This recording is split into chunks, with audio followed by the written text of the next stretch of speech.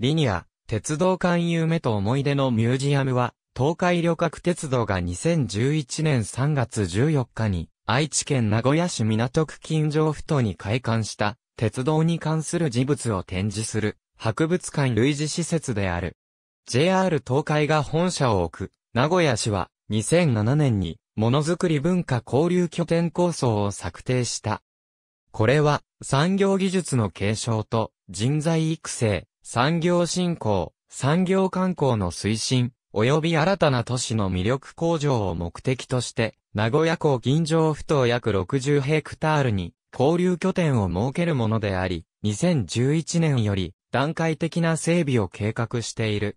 同市より参画要請を受けた JR 東海では、2008年に JR 東海博物館の開設を表明した。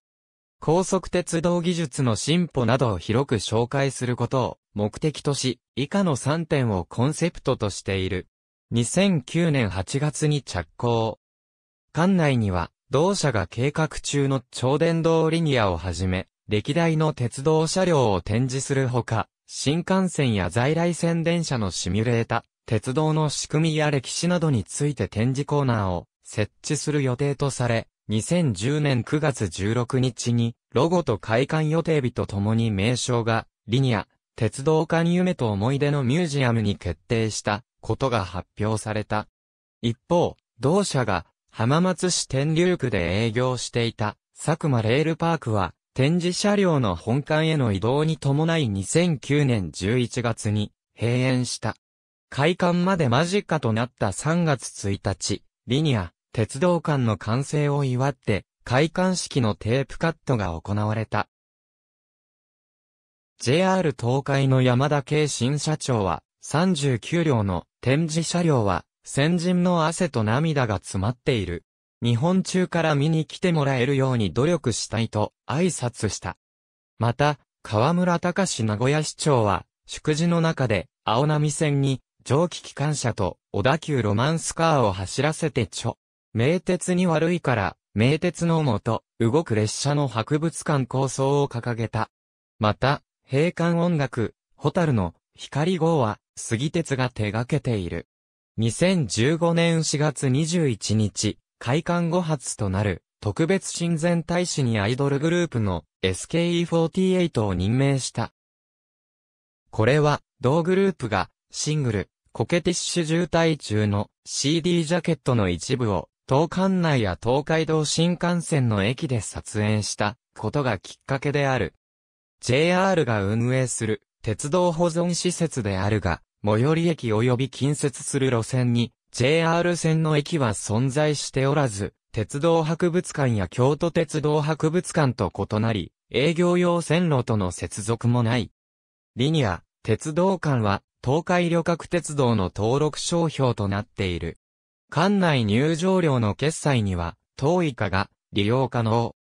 JR 東海 MLX01 リニア、実験車両、MLX01 から1国鉄、JR100 系123から1 JR 東海955、k 955から6、300X 国鉄 C57139、準鉄道記念物、リニア、鉄道館。2013国鉄 C6217 国鉄モハ52004国鉄。JR381 系エクハ381 1鉄道員保持6014国鉄キハ6401鉄道記念物国鉄。JR117 系電車現在は屋内展示に変更。JR 東海ノルマル700系電車 X0 編成過去の展示車両本館では下記のシミュレータが用意されている。これらのシミュレータのうち、N700 と車掌は抽選式となっており、入館時に渡される記念カードの台紙に付属する抽選券を切り取って申し込む形となる。運転も開館当初は抽選式だったが2016年6月1日より先着順受付に変更となった。N700 と車掌についても多脚機を除く期間限定で先着順で利用券を発売することがある。ただし、1枚の入館券で購入できる利用券はそれぞれ1枚ずつとなり、同じシミュレーター利用券を2枚以上購入することはできない。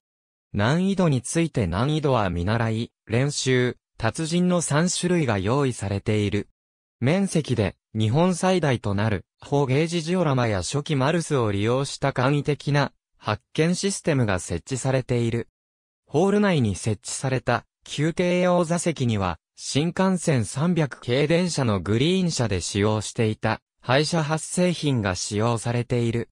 館内のデリーカステーションでは JR 東海パッセンジャーズの駅弁が特別パッケージにて販売されている。公共交通機関自動車。ありがとうございます。